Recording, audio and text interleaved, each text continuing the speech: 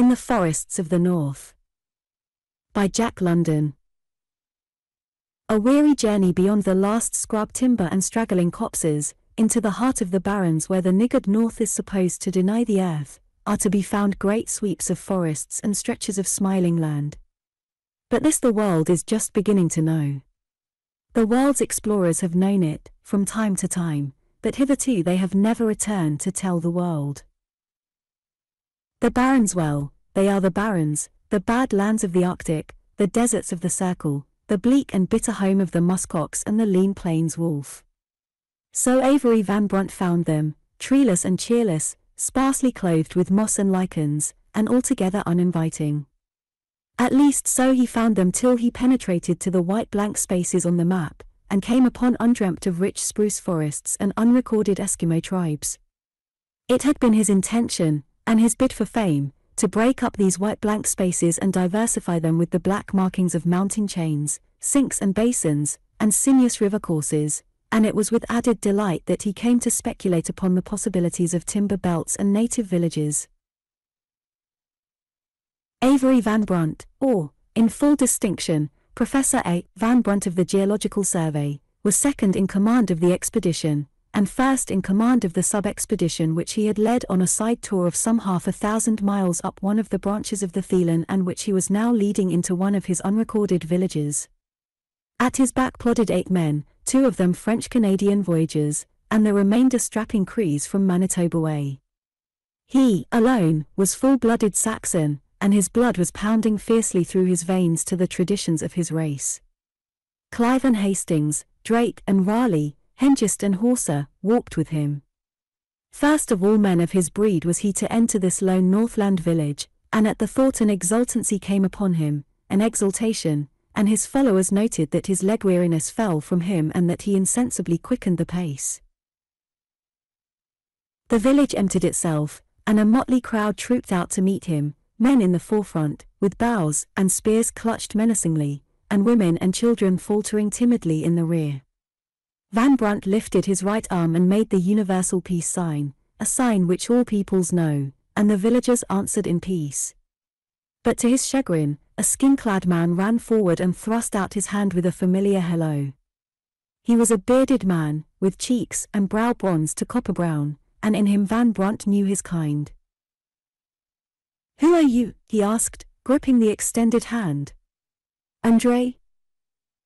Who's Andrée? The man asked back.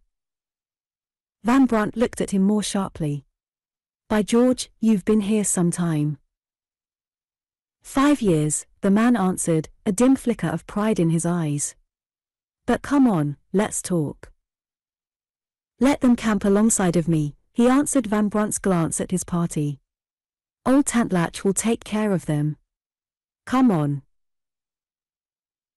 He swung off in a long stride, Van Brunt following at his heels through the village.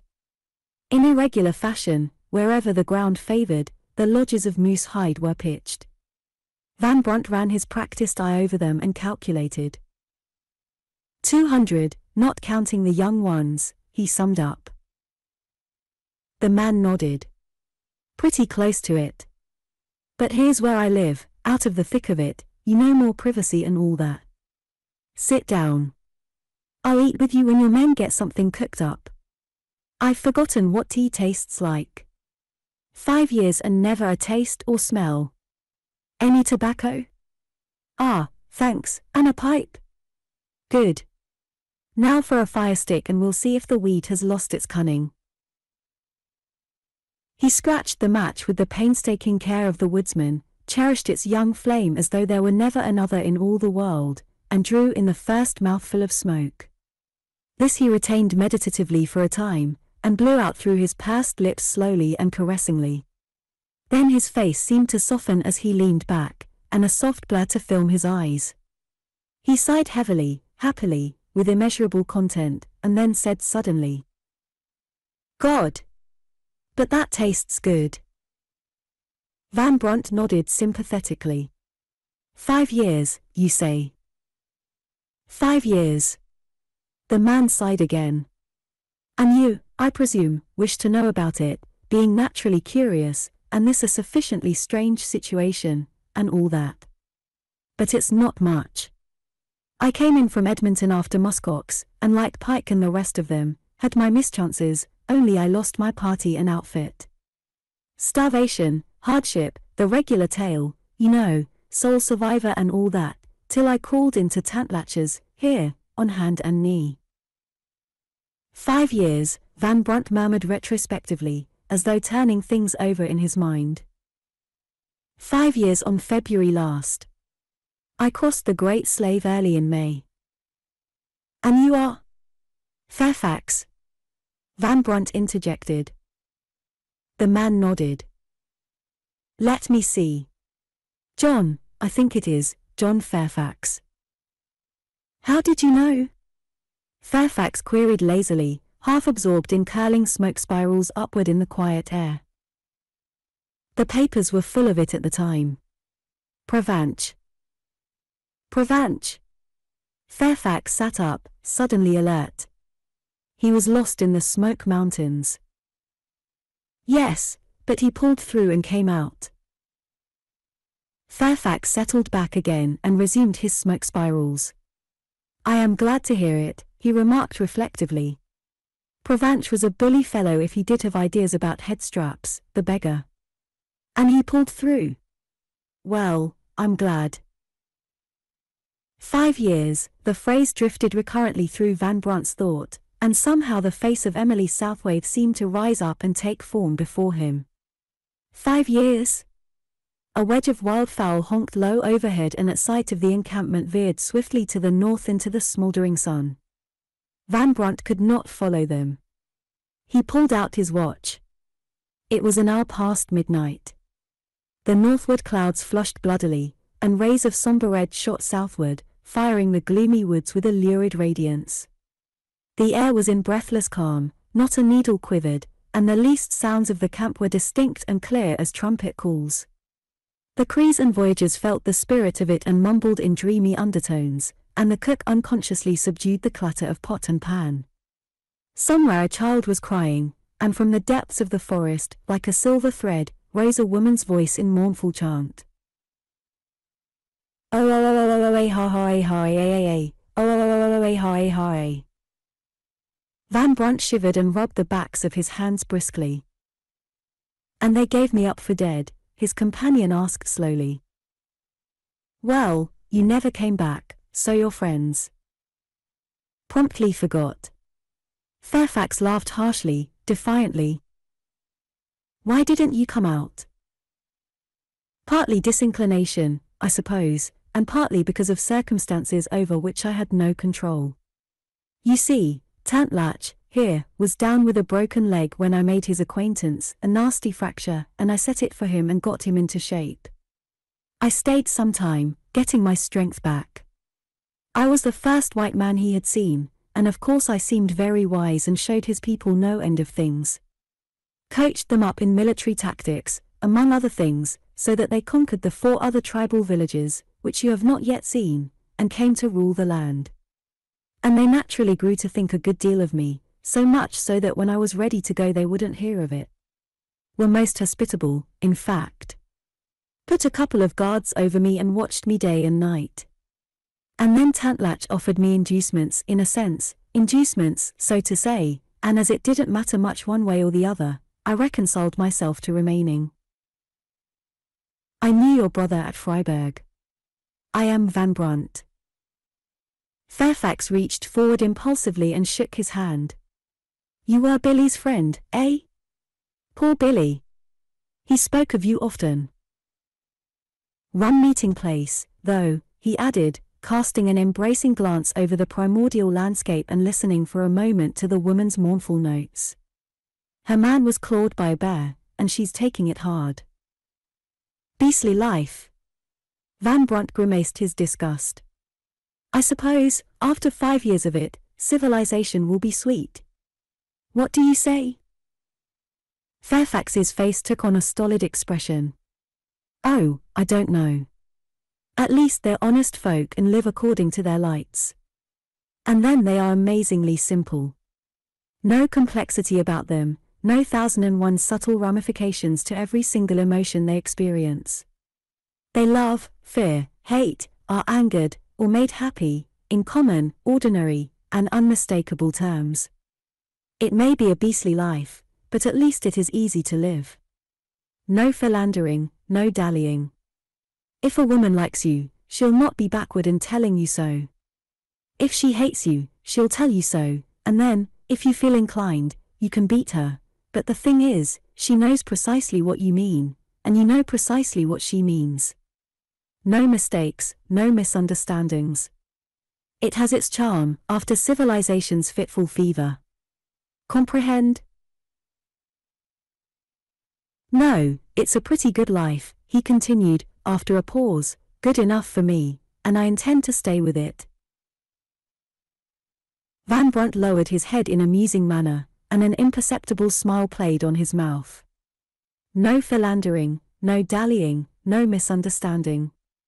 Fairfax also was taking it hard, he thought, just because Emily Southwaite had been mistakenly clawed by a bear. And not a bad sort of a bear, either, was Carlton Southwaite. But you are coming along with me, Van Brunt said deliberately. No, I'm not. Yes, you are. Life's too easy here, I tell you. Fairfax spoke with decision. I understand everything, and I am understood. Summer and winter alternate like the sun flashing through the palings of a fence, the seasons are a blur of light and shade, and time slips by, and life slips by, and then, a wailing in the forest, and the dark. Listen.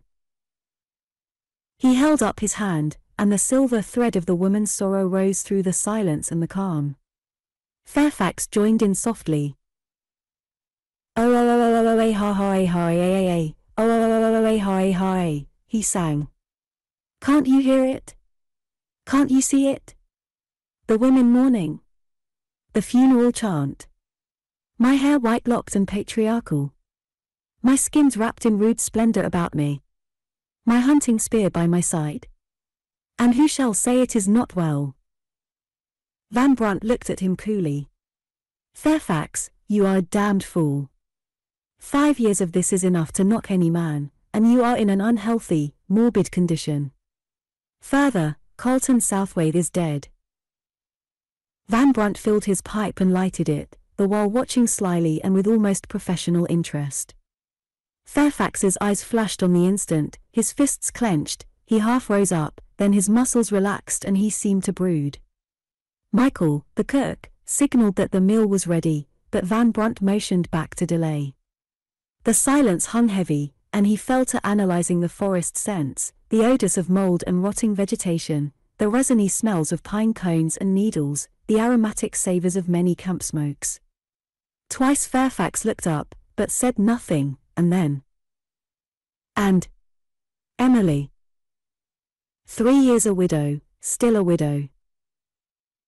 Another long silence settled down, to be broken by Fairfax finally with a naïve smile. I guess you're right, Van Brunt. I'll go along. I knew you would. Van Brunt laid his hand on Fairfax's shoulder. Of course, one cannot know, but I imagine for one in her position she has had offers. When do you start? Fairfax interrupted. After the men have had some sleep. Which reminds me, Michael is getting angry, so come and eat. After supper, when the Crees and Voyagers had rolled into their blankets, snoring, the two men lingered by the dying fire. There was much to talk about wars and politics and explorations, the doings of men and the happening of things, mutual friends, marriages, Deaths, five years of history for which Fairfax clamoured. So the Spanish fleet was bottled up in Santiago, Van Brunt was saying, when a young woman stepped lightly before him and stood by Fairfax's side. She looked swiftly into his face, then turned a troubled gaze upon Van Brunt. Chief Tantlatcher's daughter, sort of princess, Fairfax explained, with an honest flush. One of the inducements, in short, to make me stay. Thom, this is Van Brunt, friend of mine.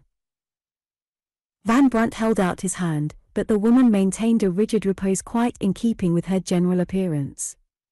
Not a line of her face softened, not a feature unbent.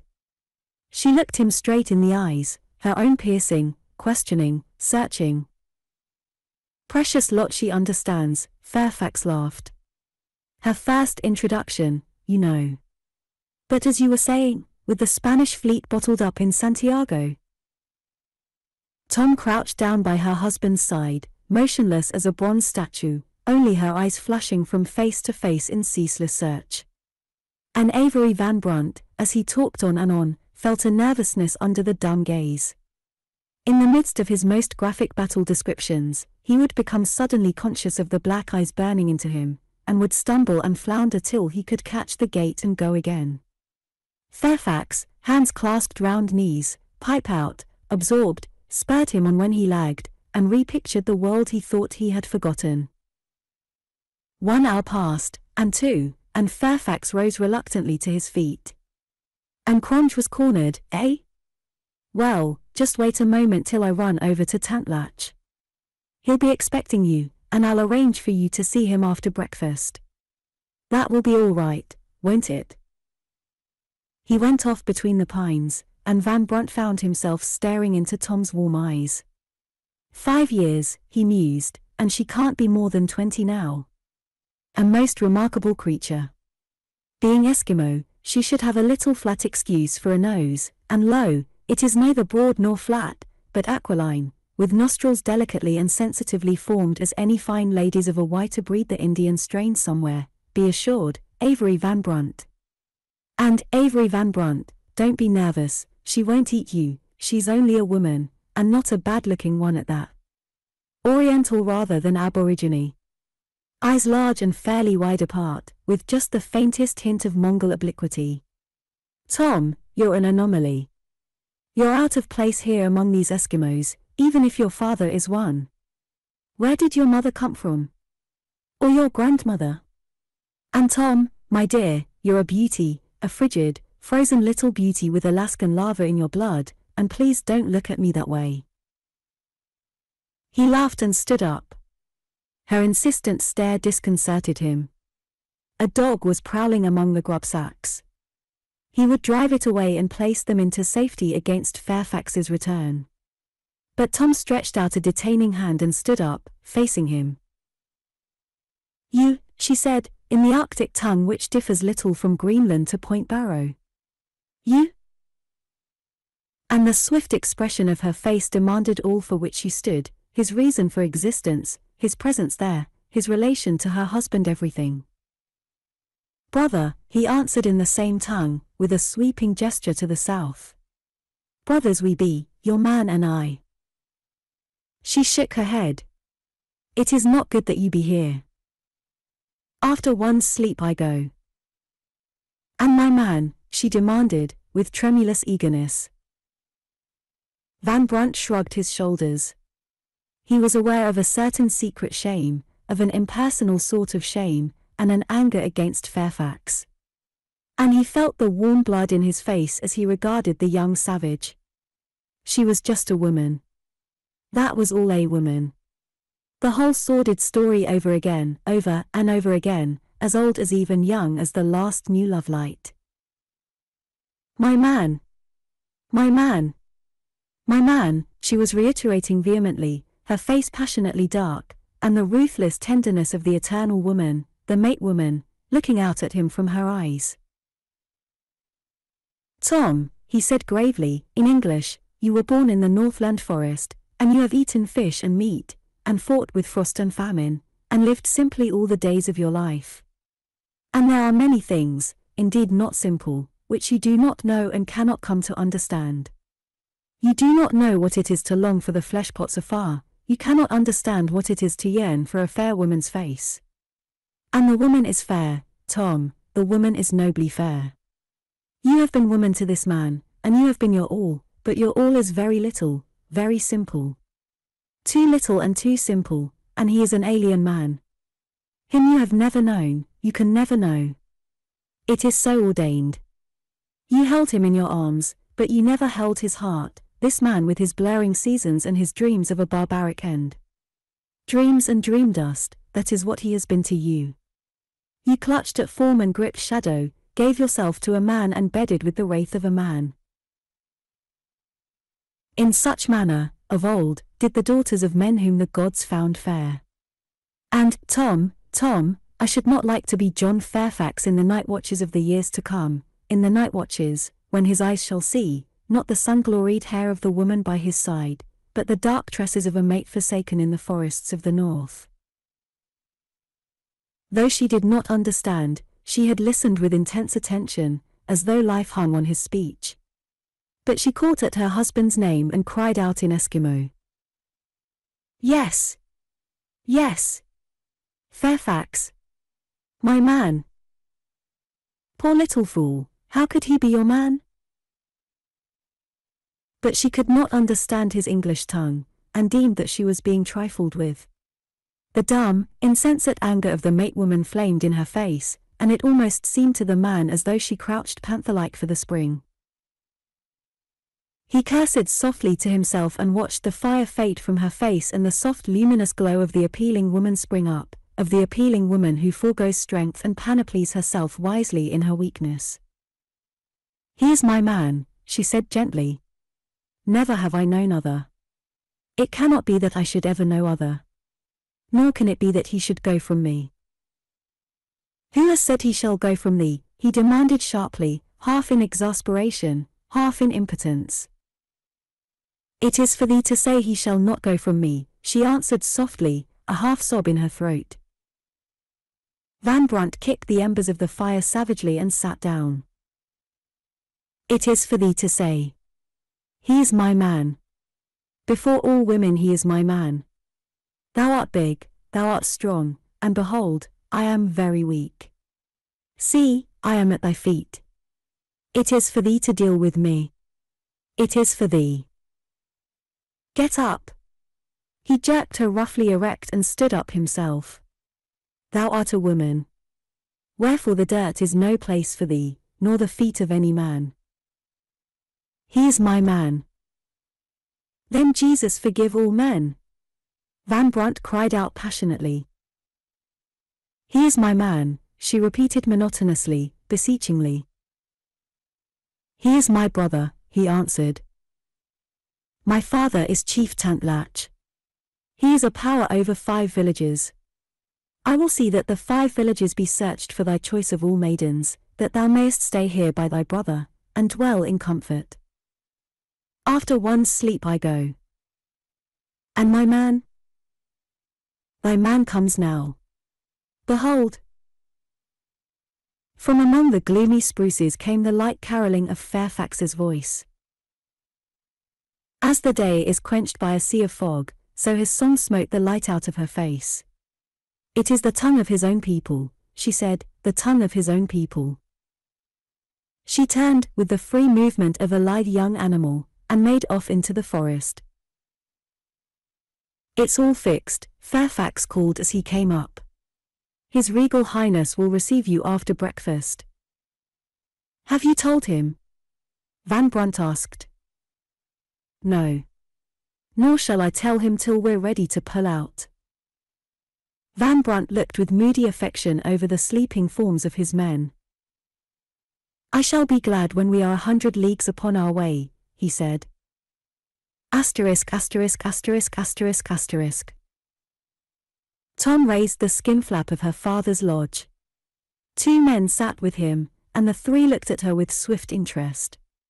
But her face betokened nothing as she entered and took seat quietly, without speech. Tantlatch drummed with his knuckles on a spear heft across his knees, and gazed idly along the path of a sunray which pierced a lacing hole and flung a glittering track across the murky atmosphere of the lodge. To his right, at his shoulder, crouched Tugendhat, the shaman. Both were old men, and the weariness of many years brooded in their eyes. But opposite them sat Keen, a young man and chief favorite in the tribe. He was quick and alert of movement, and his black eyes flashed from face to face in ceaseless scrutiny and challenge. Silence reigned in the place. Now and again camp noises penetrated, and from the distance, faint and far, like the shadows of voices, came the wrangling of boys in thin shrill tones. A dog thrust his head into the entrance and blinked wolfishly at them for a space, the slaver dripping from his ivory white fangs. After a time he growled tentatively, and then, awed by the immobility of the human figures, lowered his head and grovelled away backward. Tantlatch glanced apathetically at his daughter. And thy man, how is it with him and thee? He sings strange songs, Thom made answer, and there is a new look on his face. So? He hath spoken. Nay, but there is a new look on his face, a new light in his eyes, and with the newcomer he sits by the fire, and they talk and talk, and the talk is without end. Tugendhat whispered in his master's ear, and Keen leaned forward from his hips. There be something calling him from afar, she went on, and he seems to sit and listen, and to answer, singing, in his own people's tongue. Again Tugendhat whispered and Keen leaned forward, and Thom held her speech till her father nodded his head that she might proceed. It be known to thee, O Tantlatch, that the wild goose and the swan and the little ringed duck be born here in the low-lying lands. It be known that they go away before the face of the frost to unknown places. And it be known, likewise, that always do they return when the sun is in the land and the waterways are free. Always do they return to where they were born, that new life may go forth. The land calls to them and they come. And now there is another land that calls, and it is calling to my man, the land where he was born, and he hath it in mind to answer the call. Yet is he my man. Before all women is he my man. Is it well, Tantlatch? Is it well? Tugendhat demanded, with the hint of menace in his voice. Ay, it is well. Keen cried boldly. The land calls to its children, and all lands call their children home again. As the wild goose and the swan and the little ringed duck are called, so is called this stranger man who has lingered with us and who now must go. Also there be the call of kind. The goose mates with the goose, nor does the swan mate with the little ringed duck. It is not well that the swan should mate with the little ringed duck. Nor is it well that stranger men should mate with the women of our villages. Wherefore I say the man should go, to his own kind, in his own land. He is my own man, Thom answered, and he is a great man. A, he is a great man. Tugendhat lifted his head with a faint recrudescence of youthful vigor. He is a great man, and he put strength in thy arm, O Tantlatch, and gave thee power, and made thy name to be feared in the land, to be feared and to be respected. He is very wise, and there be much profit in his wisdom. To him are we beholden for many things, for the cunning in war and the secrets of the defense of a village and a rush in the forest, for the discussion in council and the undoing of enemies by word of mouth and the hard sworn promise, for the gathering of game and the making of traps and the preserving of food, for the curing of sickness and mending of hurts of trail and fight. Thou, Tantlatch, wert a lame old man this day, were it not that the stranger man came into our midst and attended on thee. And ever, when in doubt on strange questions, have we gone to him, that out of his wisdom he might make things clear, and ever has he made things clear. And there be questions yet to arise, and needs upon his wisdom yet to come, and we cannot bear to let him go. It is not well that we should let him go. Tantlatch continued to drum on the spear haft, and gave no sign that he had heard. Thom studied his face in vain, and Tugendhat seemed to shrink together and droop down as the weight of years descended upon him again. No man makes my kill. Keen smote his breast a valorous blow. I make my own kill. I am glad to live when I make my own kill. When I creep through the snow upon the great moose, I am glad. And when I draw the bow, so, with my full strength, and drive the arrow fierce and swift unto the heart, I am glad. And the meat of no man's kill tastes as sweet as the meat of my kill.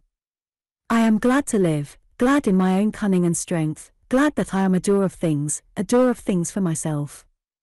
Of what other reason to live than that? Why should I live if I delight not in myself and the things I do?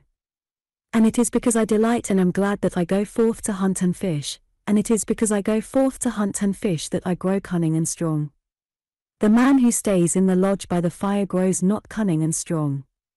He is not made happy in the eating of my kill, nor is living to him a delight. He does not live. And so I say it is well this stranger man should go.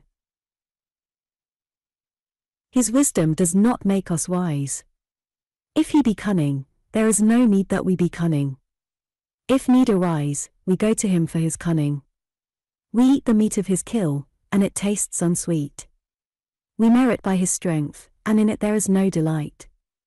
We do not live when he does our living for us. We grow fat and like women, and we are afraid to work, and we forget how to do things for ourselves. Let the man go, O Tantlatch, that we may be men. I am keen, a man, and I make my own kill. Tantlatch turned a gaze upon him in which seemed the vacancy of eternity. Keen waited the decision expectantly, but the lips did not move, and the old chief turned toward his daughter. That which be given cannot be taken away, she burst forth. I was but a girl when this stranger man, who is my man, came among us. And I knew not men, or the ways of men, and my heart was in the play of girls, when thou, Tantlatch, thou and none other, didst call me to thee and press me into the arms of the stranger man thou and none other, Tantlatch, and as thou didst give me to the man, so didst thou give the man to me. He is my man. In my arms has he slept, and from my arms he cannot be taken. It were well, O Tantlatch, Keen followed quickly, with a significant glance at Thom, it were well to remember that that which be given cannot be taken away. Chugungatte straightened up. Out of thy youth, Keen, come the words of thy mouth. As for ourselves, O Tantlatch, we be old men and we understand. We, too, have looked into the eyes of women and felt our blood go hot with strange desires. But the years have chilled us, and we have learned the wisdom of the counsel, the shrewdness of the cool head and hand, and we know that the warm heart be overwarm and prone to rashness. We know that Keen found favor in thy eyes. We know that Thom was promised him in the old days when she was yet a child. And we know that the new days came, and the stranger man, and that out of our wisdom and desire for welfare was Thom lost to Keen and the promise broken. The old shaman paused, and looked directly at the young man. And be it known that I, Chugungatte, did advise that the promise be broken. Nor have I taken other woman to my bed, Keen broke in. And I have builded my own fire, and cooked my own food, and ground my teeth in my loneliness. Chugungatte waved his hand that he had not finished. I am an old man and I speak from understanding. It be good to be strong and grasp for power. It be better to forego power that good come out of it. In the old days I sat at thy shoulder, Tantlatch, and my voice was heard over all in the council, and my advice taken in affairs of moment. And I was strong and held power. Under Tantlatch I was the greatest man. Then came the stranger man, and I saw that he was cunning and wise and great. And in that he was wiser and greater than I, it was plain that greater profit should arise from him than from me. And I had thy ear, Tantlatch, and thou didst listen to my words, and the stranger man was given power and place and thy daughter, Thom. And the tribe prospered under the new laws in the new days, and so shall it continue to prosper with the stranger man in our midst. We be old men, we too, O Tantlatch, thou and I, and this be an affair of head, not heart. Hear my words, Tantlatch. Hear my words. The man remains. There was a long silence. The old chief pondered with the massive certitude of God, and Chugungatte seemed to wrap himself in the mists of a great antiquity. Keen looked with yearning upon the woman, and she, unnoting, held her eyes steadfastly upon her father's face. The wolf dog shoved the flap aside again, and plucking courage at the quiet, wormed forward on his belly. He sniffed curiously at Thom's listless hand, cocked ears challengingly at Chugungatte, and hunched down upon his haunches before Tantlatch. The spear rattled to the ground, and the dog, with a frightened yell, sprang sideways, snapping in midair, and on the second leap cleared the entrance. Tantlatch looked from face to face, pondering each one long and carefully. Then he raised his head, with rude royalty, and gave judgment in cold and even tones the man remains. Let the hunters be called together. Send a runner to the next village with word to bring on the fighting men. I shall not see the newcomer.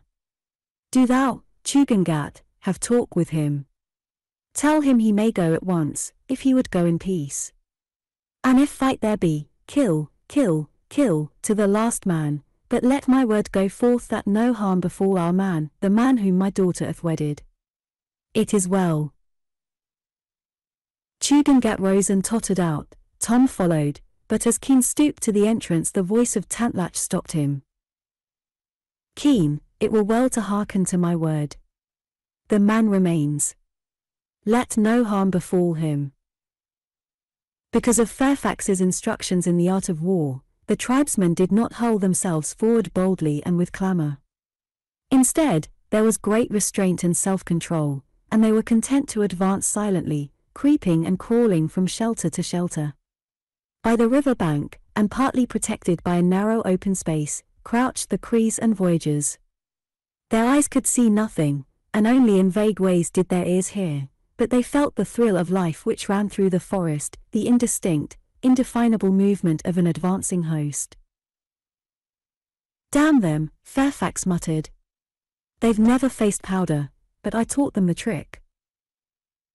Avery Van Brunt laughed, knocked the ashes out of his pipe, and put it carefully away with the pouch, and loosened the hunting knife in its sheath at his hip. Wait, he said, We'll wither the face of the charge and break their hearts.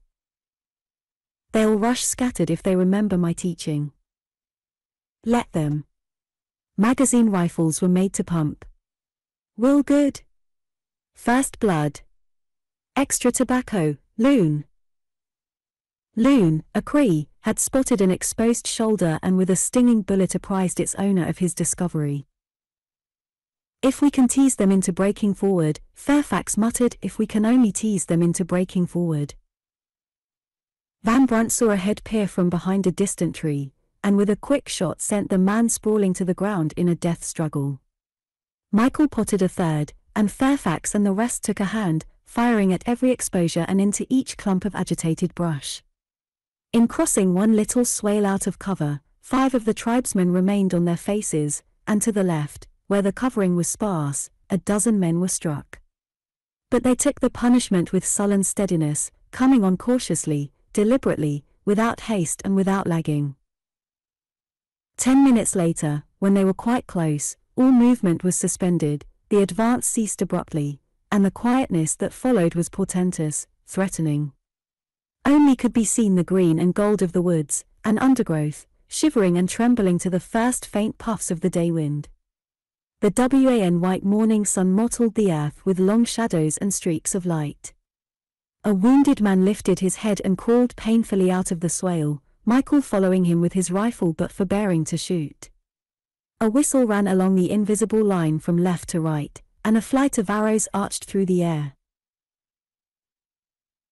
Get ready, Van Brunt commanded, a new metallic note in his voice. Now! They broke cover simultaneously. The forest heaved into sudden life. A great yell went up, and the rifles barked back sharp defiance. Tribesmen knew their deaths in mid-leap, and as they fell, their brothers surged over them in a roaring, irresistible wave. In the forefront of the rush, hair flying and arms swinging free, flashing past the tree trunks, and leaping the obstructing logs, came Thom. Fairfax sighted on her and almost pulled trigger ere he knew her. The woman! Don't shoot, he cried. See? She is unarmed. The Crees never heard, nor Michael and his brother Voyageur, nor Van Brunt, who was keeping one shell continuously in the air. But Thom bore straight on, unharmed, at the heels of a skin-clad hunter who had veered in before her from the side. Fairfax emptied his magazine into the men to right and left of her, and swung his rifle to meet the big hunter. But the man, seeming to recognize him, swerved suddenly aside and plunged his spear into the body of Michael. On the moment Thom had one arm passed around her husband's neck, and twisting half about, with voice and gesture was splitting the mass of charging warriors. A score of men hurled past on either side, and Fairfax, for a brief instant space, stood looking upon her and her bronze beauty, thrilling, exulting, stirred to unknown deeps, visioning strange things, dreaming, immortally dreaming. Snatches and scraps of old world philosophies and new world ethics floated through his mind, and things wonderfully concrete and woefully incongruous hunting scenes, stretches of somber forest, vastnesses of silent snow, the glittering of ballroom lights, great galleries, and lecture halls, a fleeting shimmer of glistening test tubes, long rows of book-lined shelves, the throb of machinery and the roar of traffic, a fragment of forgotten song, faces of dear women and old chums, a lonely, Watercourse amid upstanding peaks, a shattered boat on a pebbly strand, quiet moonlit fields, fat vales, the smell of hay. A hunter, struck between the eyes with a rifle ball, pitched forward lifeless, and with the momentum of his charge slid along the ground. Fairfax came back to himself. His comrades, those that lived, had been swept far back among the trees beyond. He could hear the fierce higher, higher, of the hunters as they closed in and cut and thrust with their weapons of bone and ivory. The cries of the stricken men smote him like blows.